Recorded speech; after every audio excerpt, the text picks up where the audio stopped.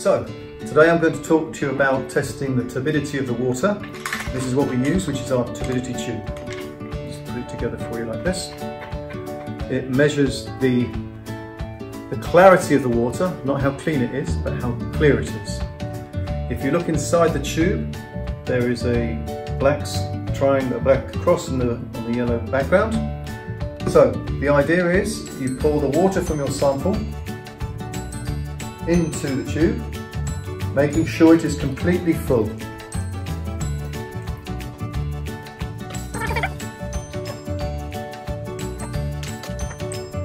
So now the tube is completely full.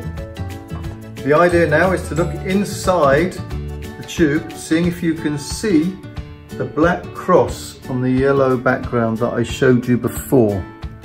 At the moment it's not quite visible, so what you do is you pour just a little bit of water away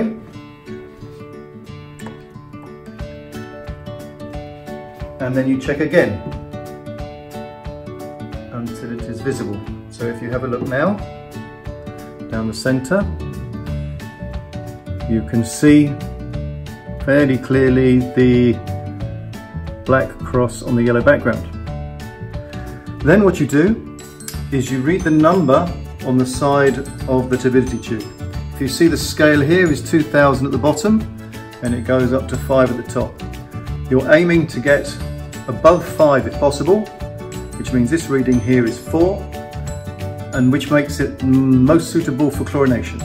So it's easy to chlorine. You, in emergencies you can go down to 10 or even 20, but for most places we use under 5 for chlorination.